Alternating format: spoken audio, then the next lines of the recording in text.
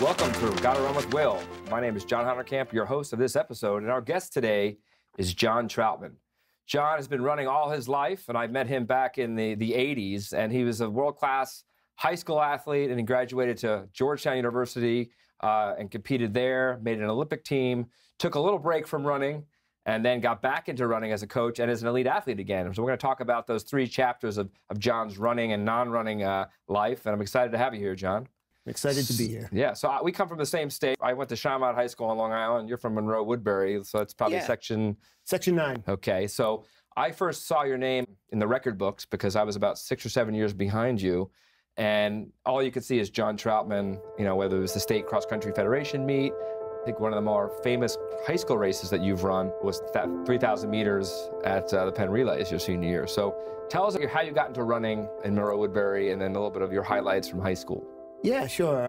Well, I actually started started running mostly because my dad was a runner back in the day. He did the New York Marathon a few times, ran the Boston Marathon, and he was really into running and kind of wanted to get me into it.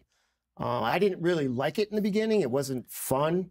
You know, he dragged me along at some of these uh, road races, the local races and whatnot. And, uh, you know, I tried to stick with him and I would not be having fun at all and be complaining the whole way. But eventually I found myself uh, doing pretty well. And the big, uh, I guess, one of the moments of my of my early early career career, but my early experiences running was in sixth grade uh, field day Okay. where we had a 400 uh, meter run on grass. And uh, I went out, I fell down, everybody got way in front of me, and uh, I ended up getting up and, and beating everyone.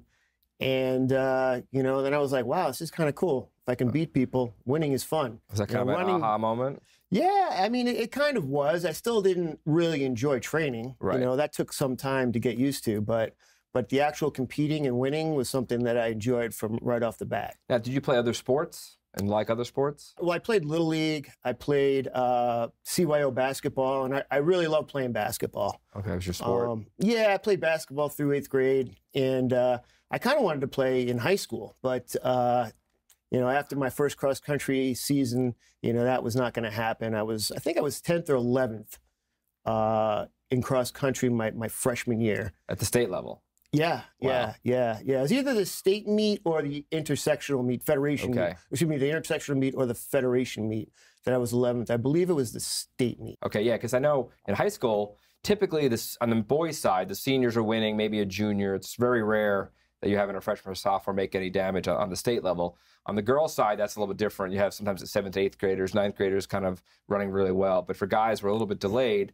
And I feel like, yeah, so as a freshman, I, that's phenomenal. And obviously, as a sophomore, you said you were runner up. Yeah, was my freshman year. Things kind of after cross country, things actually went a little better in my. You know, I thought 11th or 10th in the in the state was great. Indoors, I ended up setting uh, a national record uh, for the mile age group record, not a freshman record, a Right. 14 year old record. In the mile, I think it was 422 or 423. And then outdoors, uh, I ran 403 in the 1500, which is at that time was an age group record. Um, and also, actually, this is another, uh, you know, fact that, that people don't know that I, I actually ran my one steeplechase Okay. as a freshman at Randall's Island. It was the uh, I think it was the Eastern State meet, and I forget what I ran. I think it was around 940, 40 something. But I set a national age group record in that race too. I actually tied it. Oh, I wow. tied a national age group record. Um, stepped on all the barriers until the last one. I tried to hurdle it and uh, hit my knee. Did a somersault and uh, finished because it was only about you know 50 meters left. Right. And uh, yeah, I tied the national record, but that also ended my uh, my freshman season. Yeah. You seem to have a history of stumbling and getting back up. It's actually a good segue or kind of theme Yeah. to, especially starting off the mile, because we'll get to it a little bit later. But you had success at the mile as, as a 46 year old. Um, but Yeah. we want we don't want to jump ahead really that quickly. So yeah, again, you were running very well, and the, I think again I would say, and forgive me if I'm wrong, the 3,000 meters at Penn where you ran 8:05, breaking Steve Prefontaine's record. I think he had it for 16 or 17 years. You break Yeah. it now. I think when he ran it, he probably had a little more company. Uh, where he was out, you know, maybe a race where he was kind of battling folks. Maybe they were older, but Yeah. you come along, and I guess you know, tell people about that race if they don't know about it, and there was you know, the fact that I feel like there's other than maybe the Prefontaine race where he was running 807, probably with a little bit more company. I feel like you didn't have much company at all that day at, Franklin at Franklin Field. No, I mean, for the first mile, I think uh, Mike O'Connor, who ran, uh, he was also from from Long Island, um, St. John the Baptist High School, I think. He was uh, with me for about a mile, I think, maybe a little bit less. You know, I think I came through the mile around 423 or something.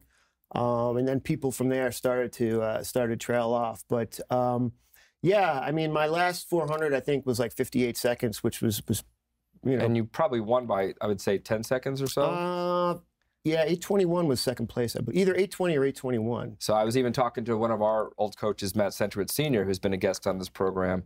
And just this past weekend, and he was talking about that race. And I didn't know you yet because I was still in grade school. But Matt Centrowitz Sr. talks about how he just saw this kid running and the fact that he ran a sub 60 quarter when there was really, I mean, other than breaking the record, which is probably was that was that were you keen on breaking the yeah, record? Yeah, I actually was. That was, uh, you know, there's two goals I had. One was breaking that record, and the other was breaking four in the mile my senior year. Okay, which would have would have broke Matt Centrowitz Senior's. Yeah, I would have broken his high school record, record, which yeah. he still holds 402. He so. does. He still has it, which is which is amazing, especially with these new spikes and everything. Oh yeah, fast know. tracks. Yeah, fast tracks. But but I really wanted to break four. Um, that didn't happen. I ended up getting mono right after. Uh, you know that 3000 i guess it was just you know my my resistance or it was down a bit probably Right. just from training and racing hard and I, and I caught it and that was pretty much the end of my season it was the end of my season so Right, but it's still a very good season. I know. Um, looking at some of the research, again, beating Steve Prefontaine's record, and then you held that record for 18 years until someone named Galen Rupp broke it. yeah galen rupp broke So it when you think about pretty good company between uh, Galen Rupp, Prefontaine, Trautmann. yeah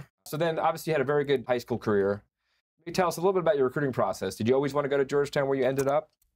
yes and no I, I visited actually visited georgetown my junior year on uh, we, had, we had a race down at william and mary Okay. Um, and we drove down, and on the way back, my dad drove me back, and we stopped at Georgetown for a quick visit, unofficial visit. Right. Um, and I really liked it there. I like gags. You know, I hung out with Miles Irish and, and Mike Stahr a little bit, and they were big heroes. My, you know, when I was a freshman in New York, They You know, both those- they're both from New York kids, right? yeah, they were like the seniors that were like, you know, Mike Stahr was that was the great Mile and Miles ran that the. Uh, I don't know if he had the national record in the thousand indoors, but he ran like 223 or 224, which Right. at that time was was very very fast. It's, it was definitely the state record. It Okay. might not have been a national record, but So they were down there, so that was attractive to you. yeah, yeah, yeah. I mean, like they were kind of like my heroes when I was a freshman, and that that was another big attraction for me to go to Georgetown. The coach there, which was both, you know, coached me post collegiately and coached you in college, probably had a bi- big, it was probably a big factor in you going there as well, right? Yeah, yeah. I really like Gags. You know, he has so much energy and, and such a motivational person. Well, 1961 rolled out, around and we didn't have football, and they asked me to take over track and field and start a cross country team. 55 years later, I'm sitting here being interviewed as a track coach. 25. But I wasn't afraid or frightened of calling coaches up, reading books, and so forth, and learning how to coach and learning how to coach strength and learning how to coach speed. And all through my career, I'm still learning. But you got to be aware mentally what you're doing with these athletes and how they feel, and you talk to them. But also the school. It's a great school. Like I really like DC. And it was really between Georgetown and Wisconsin at that time. Wisconsin had just uh, broken, or excuse me, just won the uh, the NCAA cross country title. And Scott Fry, who actually was going after that Prefontaine record the year before, I think he ran 808 and just missed or 809. Right. Um, went there, and that was, you know, oh, you know, Wisconsin's got this great program. Maybe I'll go there. But in the back of my mind, I always kind of knew I was going to go to Georgetown. And again, I ran with Gags down when I graduated St. John's, went down to the Reebok Enclave, which we'll get into a little bit about post collegiate running and how there's not a ton of options, but Right. you're offering one of the options now here at the Empire Track Club, which we'll get to. Empire Elite. Empire Elite, that's right. so there's another coach that I think came into your life when you were in college, maybe even your freshman year, was Matt Centrowitz Sr., which we talked about a little bit. He has the New York State record still. His Yep. son, obviously, Matt Jr., obviously won the the uh, gold medal in, in Rio, which I think were you there? I wasn't there. Uh, no, your- your no. Yeah, Tom, Tommy Tommy O'Hilly O'Hilly was was in the stands. but I did pick Matt for the win in that. By the Okay. way. Yeah. So I think freshman year you got introduced to Matt Centrowitz. That's the first time you met him. might have been freshman year, but but he uh, he was in New York or New Jersey at the time, and then he Gags. He moved down to I think Maryland. Maybe it was between my sophomore and junior Okay. year. And he kind of came down and helped out Gags with some of the distance guys because Gags was more of an 800 meter, 1500 meter guy. And they were thinking about Gags wanted to move me up to the 5000. So the perfect person to do it was someone who had the national record at one point. Matt Right. had run 13 13, I think, or 13 12, and had the 13-12. national record for a little bit. I think Alberto might have broken it. Alberto broke it like nine days later. Yeah, something like that. and it was more like a and I feel like Matt's record was in a, an official race where it seemed like Alberto's race was more like a setup race. Yeah, it might have been. It and might Matt have had been. it for nine days, but then Alberto Yeah. had it for like nine years. Yeah, 13, yeah, 11. it's kind of wild. I guess you know out in Oregon, they, you know, they set up a lot of races out there, and, and the best runners in the in the country were always out at Oregon in the '70s and, Right. and early '80s, and and uh, yeah, I mean that's the place where, where so most of the national I would say. Gags is probably the, the best motivator I know as far as track and field coaches, and I feel like oddly enough, Matt Centrowitz Senior uh, is very intuitive. Extreme. I feel like he would. I remember one time when I was struggling with my running, he was the one guy that was like, "Stop running, son." yeah, Whereas like our gags oftentimes would be like, all right, do you have to work out or maybe Yeah. sit every other one out or maybe take one day off and come back. Centrowitz really just had a the, the pulse of more in, in- intuition of hmm all right, you should run more, you should run less. And I feel like the combination of the motivator and gags and the, know, obviously Centrowitz had the, the credentials as well, running 402 in high school and run- running 13, 12. But I think the best of both worlds as far as coaching probably helped mold you as an athlete and then probably as a coach today, right? Oh, definitely, definitely. Matt, Matt, as you said, is very intuitive. He knows how to get inside your head and, and really kind of actually knows what you're thinking and what you're going through since he's been there. It's kind of uncanny the way he knew like what exactly what I was thinking, which, Right. was amazing for a coach. I wish I could do that, but but uh, a lot of people don't know Gags played football for Richmond and did a little bit of, I think, pro semi football in, in Canada. yeah, right. But he was a quarterback. Yeah, I remember in DC he would still throw football. We our track was uh, same place as the as it went around the football field. And Once in a while I'd have a football, and and the guy could still throw like a bullet, man. Right. You know, and I guess he, back then he was like 40 years old, so it was Right. He doesn't, yeah, he doesn't strike you as the quarterback type. What makes running different than other sports? I think it's really an individual, a lot of individual in running. He was the motivator. He would have kids just running through brick walls for him. Yeah. But I think just the combination of Centrowitz knowing that the, the A, the being an Olympian himself, uh, he won Mhm. four national titles in the in the 5,000. 1992 comes around. You're running the Olympic trials. You, you graduated from Georgetown, or you were you still at Yeah, Georgetown? no, I graduated in 91 Okay. and uh, you know, I kind of hung around uh, I don't think the enclave had started until 92 or 3, but you know, I was staying stayed there. I was going to stay with Gags. We had a we had a great bunch of core people there, like Peter Sherry who was I think second in the 10,000 in the NCAAs. Then we had Steve Holman who ended up running 331 for the 1500 and Rich Kenah who has two bronze medals in the world championships. I mean, we were all within 2 years of each other. Um, You all graduated, stuck around for the next Yeah, Olympic cycle. yeah, yeah, and we're there. And then there were some other people that were lived in town or in the neighboring suburbs. Like Bill Burke was from Northern Virginia, Right. who ran for Princeton. Bob Lesko, who ran for Yale, was in lived in George. Actually, he's from Georgetown, Really. and uh, yeah, a few other guys. And uh, you know, it just kind of started that little group there, and it was just great to have people to train with. You know. Yeah, because even from my experience, you know, a couple years later, you graduate, go from the best system in the world of the NCAA, where you have like you know, everything taken care of for you, travel's taken care of you. If you go to, if you get into the NCAA's or Olympic trials, you get that that's paid for, and you have you know strength and conditioning, you have uh, training staff. Then you graduate, and there's really not a lot. And even today, there's maybe a couple more, but you really have not a lot of options if you want to continue running. I feel like we go from the best system in the world with NCAA's. A lot of foreign athletes come over here Yeah. to run in college, and then you graduate, and there's not a huge support system for track and field. Uh, my college coach Jim Hurt used to say, if you were the, the 10th best shortstop, you'd be doing pretty well. Pretty Yeah. well, you know, Yeah. playing for whatever the New York Yankees or whatever, Derek Jeter. But if you're the 10th best in the country in the 800 meters or 5,000, I remember when I went down to DC, I was making 300 bucks a month, which I used to pay my rent. and you had to get a job and all that stuff. So Yeah. I feel like your group, uh, again, there was a group in the 70s with, with uh, out in Oregon, and you graduate, you still have a lot of running uh, in your system, ideally. Um, so explain, like, as you graduated and transitioned to a post collegiate athlete, I think you had a deal or a relationship with Adidas. Yeah.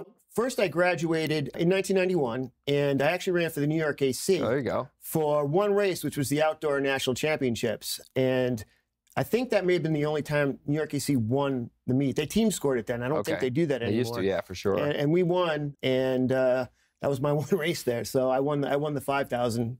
Uh, it was, then it was called the TAC, the Athletics Right. Congress meet, and I won the five, and I think Pete Sherry was uh, like six, maybe.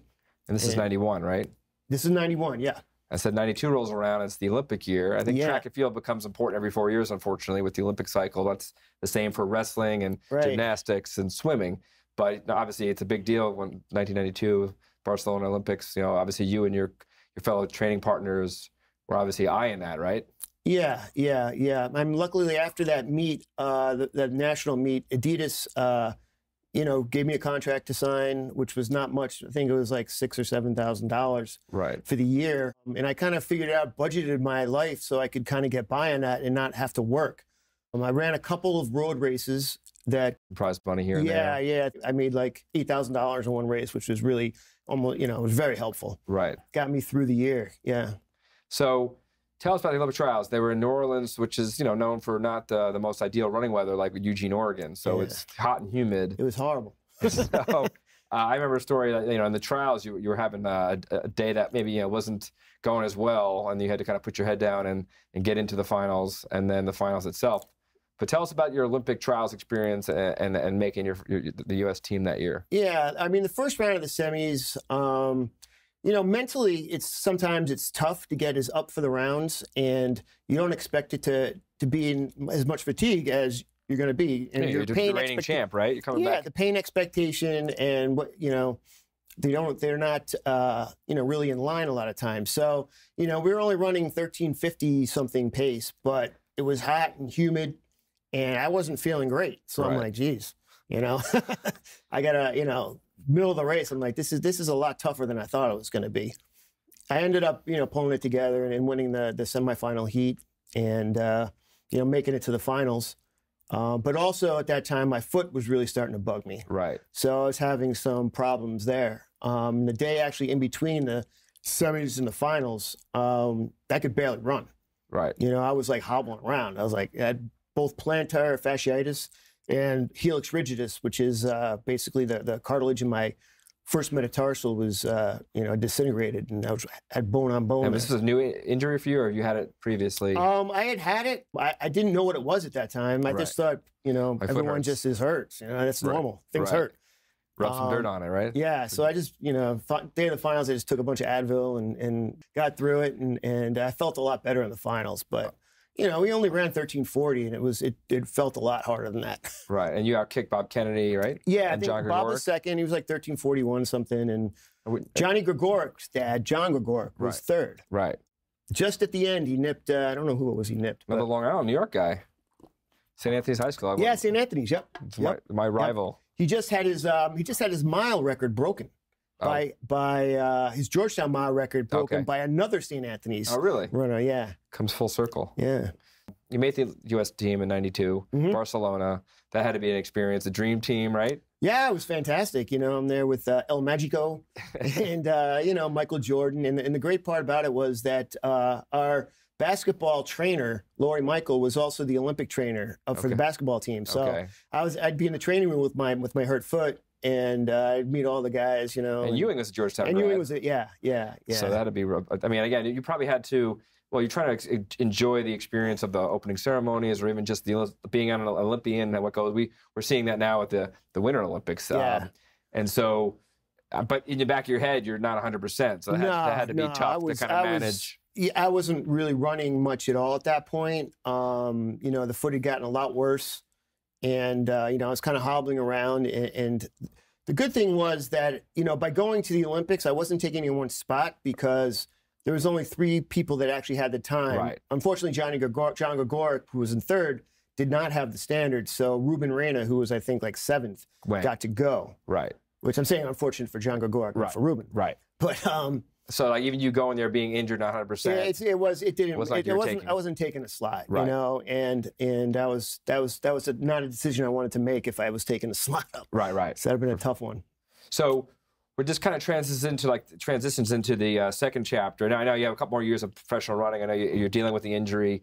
Uh, I know that Barcelona didn't go as well as you would have liked. Uh, again, in injury. Um, Yeah. So the next four years, you basically ran through to the, to the 96, or were you? Well, yeah, I had a contract with uh, Adidas through '96. I mean, I ran sporadically. I had two surgeries during Right. in between '92 and '96, um, and neither of them really worked. I had what's called a cheilectomy Okay. and uh, what's called a Moberg procedure, which I won't get tell exactly, but they didn't work. Right. And so I, I tried to run, and, and it just it, it wasn't it wasn't going well at all. I did manage to make world cross country and run world cross country. Uh, I think in '94, but that was that was probably the toughest race I ever ran. Like just trying to get there in those trials, Right. you know. And by the middle or the beginning of '96, I knew I was done. Right. You know, I, I qualified by the skin of my teeth to make the trials in Right. '96, but I didn't go because there was just no way I was gonna, Right. you know, pull it together. So this brings us into like part two that I want to talk about a little bit before we get to part three, which kind of brings us full circle. So Mhm. you joined Wall Street right away, or you, Well, I worked at a, a consulting firm uh, in Arlington, Virginia called Cambridge Associates for about a year and a half. Um, that was, I think I started there in 90, well, into 96 to the middle of 97. and But you're running it all at this point? no, no, no, Right. not running at all. Um, but I was, I was exercising, I was doing other things and I was still young, so I wasn't gaining any weight yet. Right.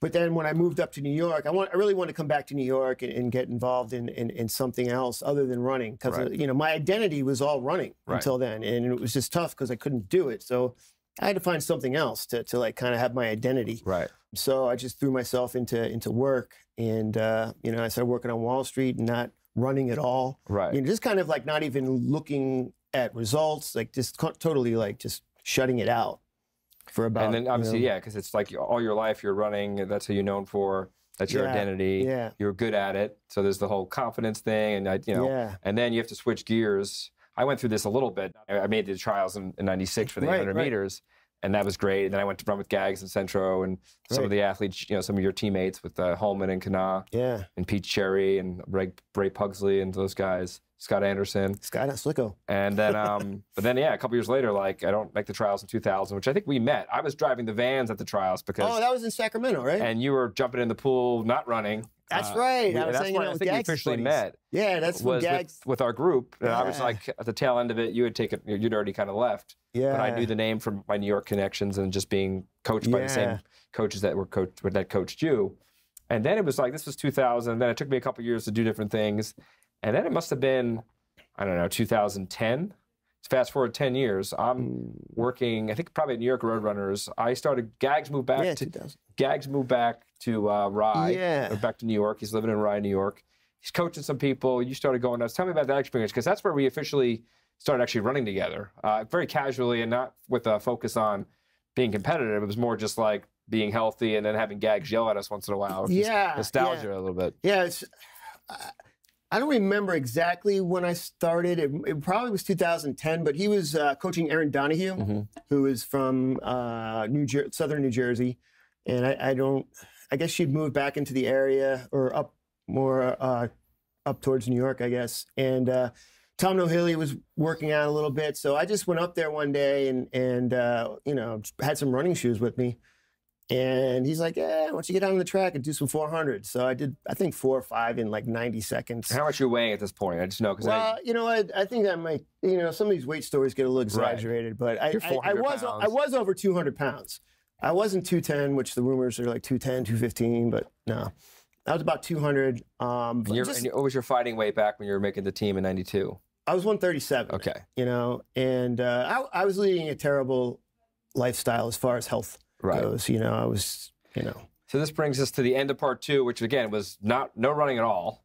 And you're in Wall Street. You're not following results. You really kind of like shifted gears, and you wanted almost nothing to do with running. right. And then inertia, Gags, you know, perfect storm of Gags being back in in town. You Yeah. kind of talking to Tommy.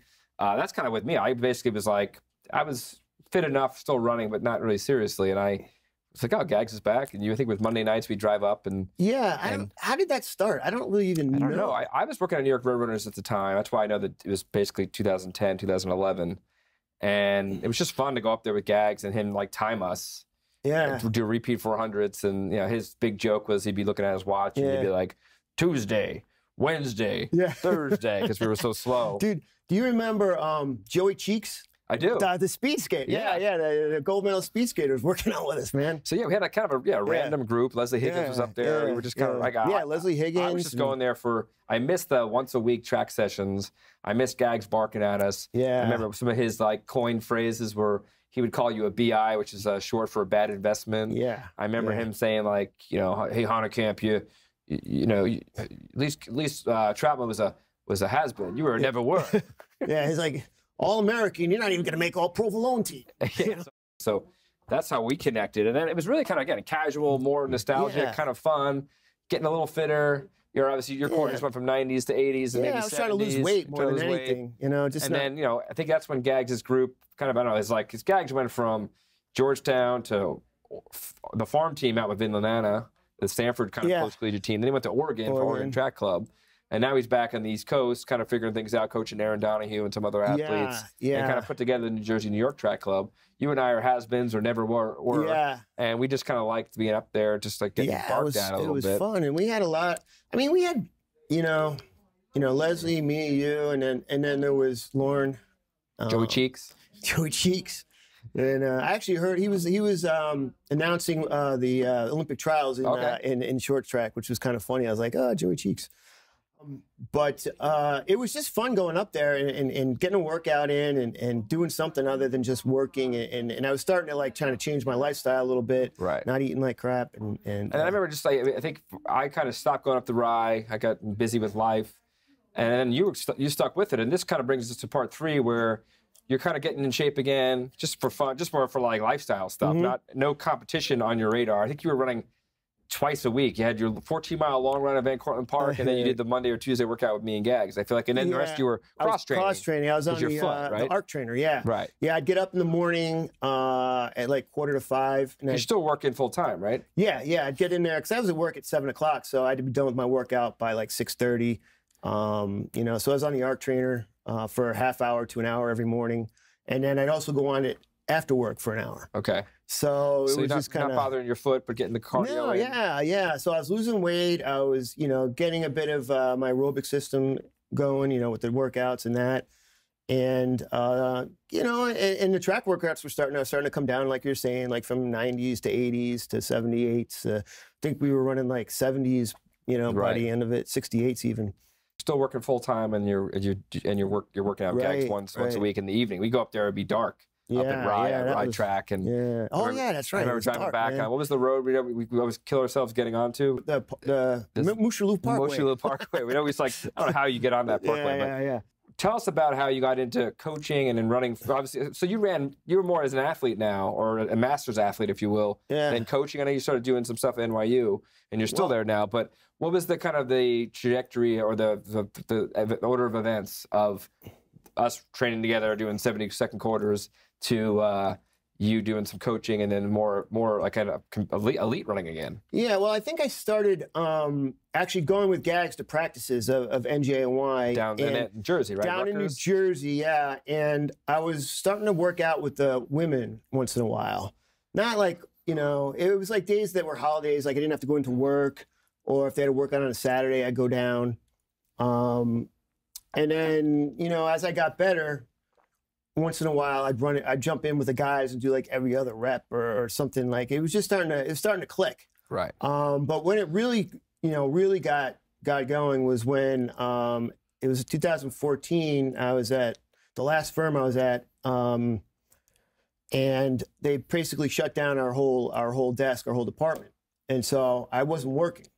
Was able to go to practice with them and and really, you know, put 100% in into into running for a while. And you weren't coaching yet, right? You were kind of No, no, I wasn't coaching uh, yet, but um, Gags brought me on the next year. I think in 2015, maybe or 16. No, 15 as, as a as just a assistant coach. right. But at the same time, um, uh, uh, Will Boylan Pett Right. uh, left NYU. okay. Um, he was the head coach, and Arison Hertalt, which was the assistant coach, moved to the temporary head coaching position. They needed someone else to come in. Right. Um, so you know, he reached out, and I said, "Yeah, sure. You know, I'm not working. I'll do that part time and do this part time." And and uh, it just kind of went from there. So now you you're know? coaching at the college ranks, and then you're also getting a little bit fitter, you know, and you're enjoying that process, being Mhm. around Gags, assistant coach Yep. for the, the elite program there Yep. in New Jersey, New York Track Club. But like, what got you to like sign up for not just a 5K road race, but like a, a, a mile on the track? Yeah, the first the first race that I saw a glimmer of hope was Fifth Avenue Mile, um, where I ran four, maybe four twenty six. And I how old are what you? year. I don't remember Probably what like year early 40s. Yeah. Oh, I was in my forties. Yeah, I don't. It was early forties. Um, and then I ran. I was running road miles. Then I ran a Ridgewood Road Mile, which I which I got second in. Right. Um, you know, I think I was probably forty two then. And you're just like, oh, this is fun to compete again. Yeah, yeah. And so I just kept, you know, I kept training. I kept seeing my times get better and better um, in, in practice. So I decided to sign up for some track races. Now, what's Gags thinking at this point? Is he like, yeah, you should, you know, because yeah, he's like, yeah, get out there and run. Right. Ah, You know. So I was like, yeah, all right. So I, I started running some of the uh, those those uh, Tuesday or Thursday night uh, meets at the at the Armory. Um, the first one I ran, I tripled. I ran the 600, the thousand, and the 3200 or something, or do- 3000. just yeah. as a hard workout, pretty much. right? Yeah, yeah, yeah. I don't know why I decided to triple, but I figured, you know, why not? And I actually got sick after that, but for like a week. But that was my first real track, my first real track races. And I keep going. And but the following year, um, you know, things started to really, really start going. I, you know, I, I uh, ran some uh, college meets. I think I ran. There was a meet that that Columbia might have put on, or either NYU or Columbia put on in the Armory. And I ran that, and I think I ran like 422 or 423. And then I was like, whoa, man, I, you know, at this point, the, the record was 418 Right. for, for 45 Got to 49, yeah. So, you know, wait a minute, maybe I can get that. It's not Right. too far couple off. seconds. So I started training and uh, I was running races. And I think the week before I really wanted to go after it, Brad Barton went out and he broke the record. Right. yeah, and he ran 417. Actually, I'm sorry, the record was like 420 something at that point. And he ran. He ran 417 or 418. And he had the new record. So then Right. I was like, oh, you know, I thought I could break the first record, but now I got to Right. run faster than 418. Like, I don't know if I can do that. right. Or 417, I think it was.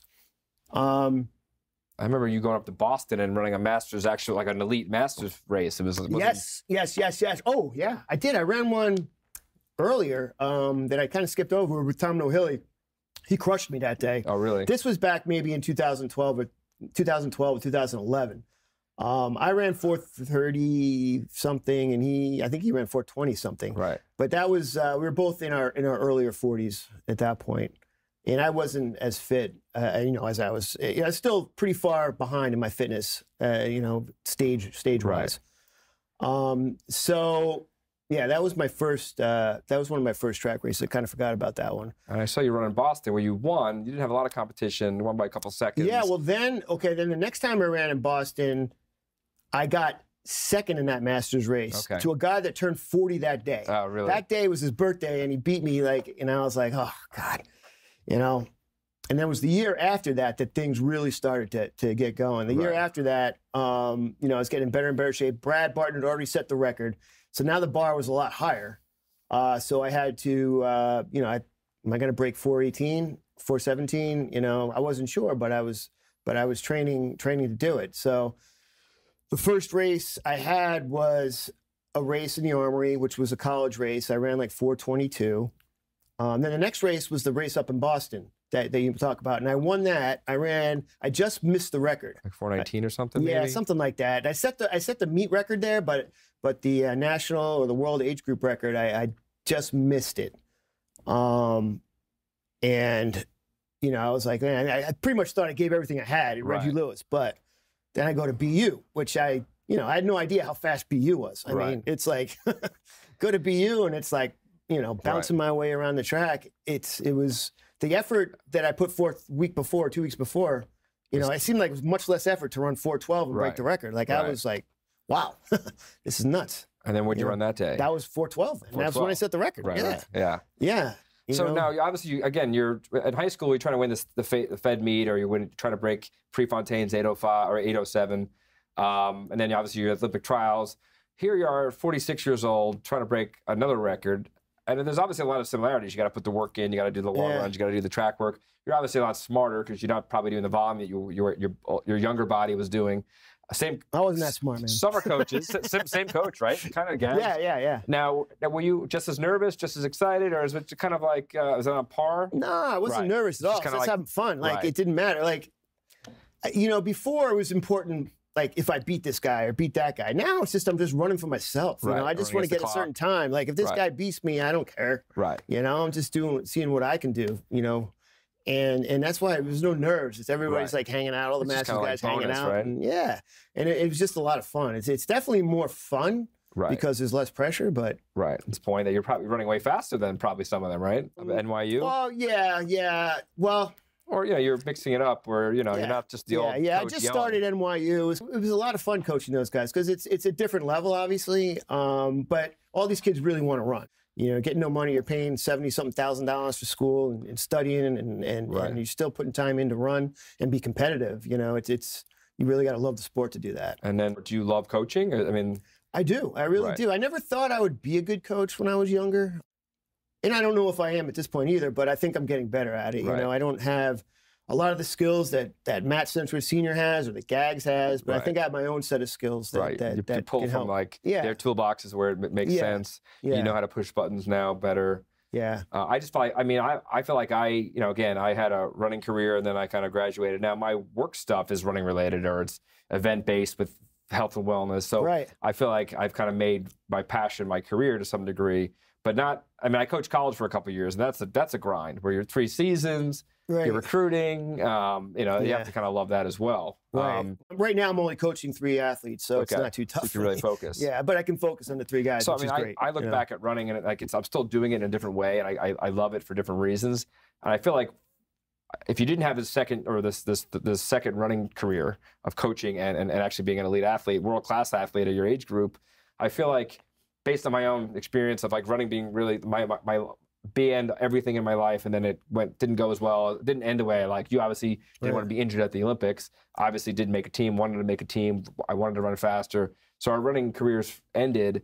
Right. And now you probably look back at running. I think it's probably better that you had this. A, you're in it as a coach now, but also you had this really positive experience as being an athlete again. And yeah. that middle couple years where you're, you know, weren't running at all and you needed a break. Um, I, I think you're probably grateful that you had this this second chance at it because, you know, look, it's easy to look back and say like, oh, those are the years when I used to be the runner and now I'm the, the stockbroker or something yeah, else. Yeah, but yeah. now you're. I feel like you were always a runner. You were just choosing not to run. Right. I guess that's true. I mean, I'm glad I had to. I mean, I'm, I'm happy now. I mean, life's just going to unfold how it does, Right. and you can't really look back and have any regrets. But, but I think you know, I I definitely feel like I had some kind of redemption. You know, you know, it didn't end well. Running, you know, back in '99, whenever it ended, '94. You know, I consider it '92 was the end, but Right. but I kept trying to go. But but you know, it was a tough breakup with running. You Right. know, No, I was like, you know, it's like one of those where you just got to shut the door and not look, not look, Right. not look behind the door anymore. And and that's what I did. But now I can look back on everything Right. and and and I'm happy with it. And and uh, you know, it's it's great to be back in the sport and it's great to be giving back now. Right. You know, to be coaching these athletes. I mean, we have some really So- great athletes on the club now. Uh, fast forward to today. Tell us about Empire. Well, Empire Elite came about, um, as you know, we were with New Jersey, New York Track Club. Gags was the head coach. Tom Nohilly and myself were assistant coaches. Uh, we were sponsored by Hoka and Hoka One One.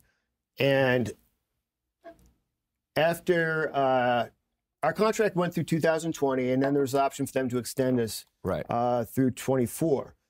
The Olympic trials obviously were were postponed, um, and we thought, you know, our, our contract was going to go to the end of December. Was there was only six months until the, the postponed trials. So we thought Right. maybe they'd give us a little Extension. a little extension, but but pandemic. You know. no, they gave us nothing. Right. You know, and they just uh, kicked us to the curb. So Right.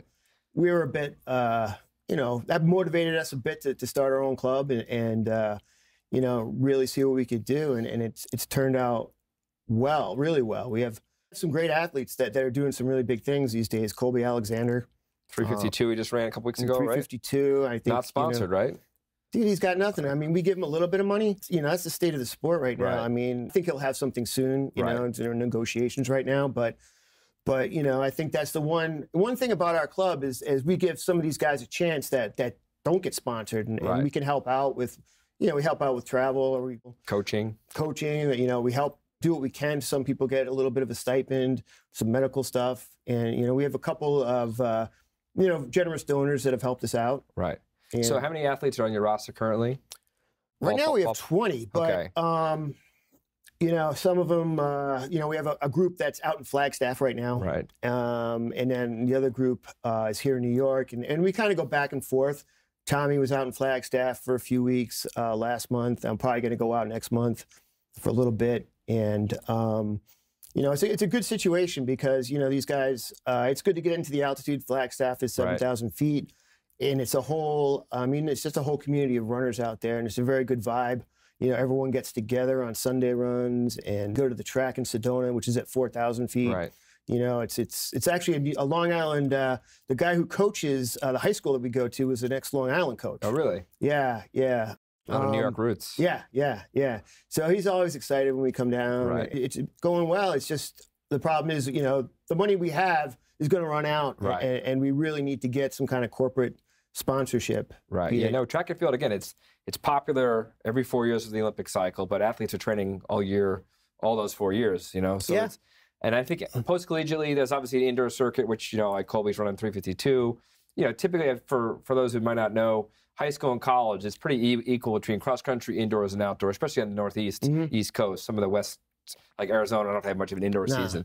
So, but when you graduate, it's really all about outdoors. t- t- you know, because that's the Olympic cycle. I know there's actually Yeah. a campaign to get cross country into the Winter Olympics. Yeah, which would be yeah, phenomenal, yeah. Kyle Merber, man. Yeah, good stuff. it's still uh, 12 months out of the year you're training, even if it's just Exactly, yep. outdoors. And then every, Yep. unfortunately, every four years is when shoe companies maybe perk up, and there's, there's even a cycle where we were at Reebok, but then this company like ups the ante, and this, this the Yeah. funding is pulled here, and you kind of just have to kind of follow the cash a little bit and the support. So, uh, how can we, uh, uh, those that are at home in the audience or you, tuning in, a follow um, Empire uh, Elite Track Club? Well, first of all, you can follow us on uh, follow us on uh, Instagram at empireelitetrack.club uh, on Instagram, and also that's the same as our website. Okay, And we have a uh, donation button. If you when you go on to empireelitetrack.club, scroll down to the bottom. There's a donation button, uh, and you can donate. And, and you know we're a 501c3, so your do- donations are tax deductible. And you know it's it's something we really need to survive until we get some sort of a, a sponsorship, which. Right now, it's not looking like anything's going to happen soon. Some Right. of some of our athletes are individually sponsored, Right. uh, and getting that and, and getting sponsored, but it's great for them. But last week in Boston, we had Luciano Fiore, who's another Long Island kid, ran Right. 219 in a thousand. right. Guy Ben Allen, uh, Division two guy that just started with us, ran 220. Jeremy Hernandez Okay. uh, ran 241, and Luciano and Ben are going out to nationals out in Washington next weekend. Okay. Also, Eric Holt uh, qualified in the mile or 1500 in Colby Alexander. So we have four athletes going to the indoor nationals in Spokane uh, next week. Great. And that's the main thing is like you graduate college, we, we talked about earlier, going from a pretty nice situation being in college. Yeah, obviously D, D1 a little bit better than D2 and D3 as far as support. Right. But then like you're 22 years old, 21 years old, and then all of a sudden you're on your own. And especially in middle distance, definitely endurance, uh, marathon, 5K, 10Ks, you're not peaking to your late 20s. And so how do you go from 22 to 28 where the opportunity cost for you might be giving up a career or putting on a pause because you want to you know, pursue an Olympic dream? And I think that's something where, you know, the sprinters, I don't, I'm not saying they have it easier, but they, they peak probably in their early 20s. So maybe they, if they graduate at 22 and next thing you know, they're, the Olympic cycles are, you know, one, two, three, four years away. It's a little mm-hmm. bit easier to stay in the game, but it's more of a long, long game when you, you know, when Yeah. you're looking at it, or long term, you know, gamble Yeah. sometimes. And I think sometimes we might lose a lot of our key athletes because, you know, a lot of time between 22 and 28 or 32, when maybe if you stick in it, like Rich Kenah, I think he didn't run, he didn't make his Olympic team, or he made the, missed the Olympic team in 96, but Yeah. he got two bronzes in 97. He was quit after 96. Right. And he made the Olympic team in 2000. Was it? Was it? In 2000. Yeah. Yeah. So I mean, that was that was like seven years out of college, right? Right. Yeah. So I think yeah, all that support. Now, before we wrap you up and let you go, go coach your athletes today up at the Armory. Um, if you're a high school runner, eh, or actually any type of runner, what's like the number one advice you would give any runner, whether they're 50, 46 years old, just starting out, or they're you know, sixth grade or their dad's, you know, telling them to do laps because they, you know, they didn't do their chores or whatever. But any like r- life le- lessons with running, um, this, you know, could be one or two kind of Yeah. inspirational points or, or, or advice you might give yeah, before we two, end. two things. One is is to always be building uh, like volume, but do it very slowly. You know, like you know, you want to build every year in high school, every year in college, but do it in a in a very uh, meticulous manner where where you're not jumping up from like 50 miles a week to 80 miles a week, going Right. up slowly, and and that you know, I think that's important. And number two, I think working on when you're younger, working on fundamentals, um, drills, and that sort of thing. And I, I don't know. I think they do it more now than than when I was running, but it's something that at an early age, if you learn how to run correctly, Right. you know, it's like you know, it's like a golf swing. You know, Right. you know, you'll have that the rest of your life. And when you get older, that kind of stuff is important. At my age, you know, I'm lucky. I, I had pretty decent uh, biomechanics when I was when I was younger, but uh, you know, a lot, of, a lot of people don't, and and that's something you need to work on when you're younger.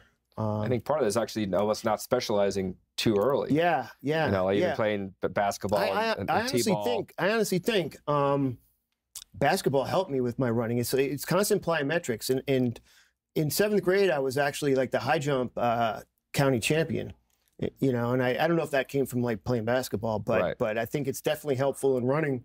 You know, with that elasticity of your Achilles and your calf, and and uh, you know, really really something that helps out.